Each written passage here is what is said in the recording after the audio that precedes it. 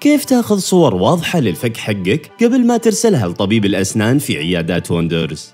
أول شيء استخدم جوالك واستعن بشخص لمساعدتك في التصوير وما تاخذ سيلفي لأنها تعكس اليسار واليمين. بعدها مهم مرة تكون بغرفة فيها مصدر ضوء قوي أو تقدر تستخدم كشاف جوالك. بعدها ضروري تاخذ صور واضحة وقريبة من الفك. كثير مهم إنك ترسل ثمانية صور للطبيب في عيادات وندرز أول ثلاث صور راح تكون للرأس أهم شيء ظهور الرأس والكتف. الأولى من الأمام وأنت مسترخي بدون ابتسامة والثانية من الأمام مع ابتسامة بسيطة طبيعية والثالثة من الجنب بزاوية 90 درجة لرؤية الفك مع الأذن بوضوح.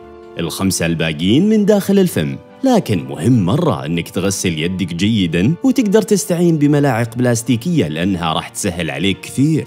أول صورة من الخمسة هي الصورة الأمامية للأسنان وما تنسى أنك تعض بشكل طبيعي أثناء التصوير.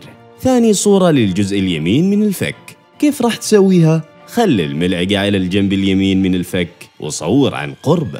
ثالث صورة للجنب اليسار وراح تسوي نفس الشيء وتخلي الملعقة على الجنب اليسار من الفك وتصور. الصورة الرابعة راح تكون للفك العلوي وهي مرة سهلة بس راح ترفع ذقنك وانت فاتح فمك لين ترى سطح اللثة وتصور. والصورة الأخيرة راح تكون للفك السفلي ميل ذقنك للأسفل وحاول تبعد لسانك مع فتح الفم وبعدها صور. والحين تقدر تاخذ صور كثير دقيقة لأسنانك وترسلها لطبيبك في عيادات وندرز. سهلنا لك الصعب واجد.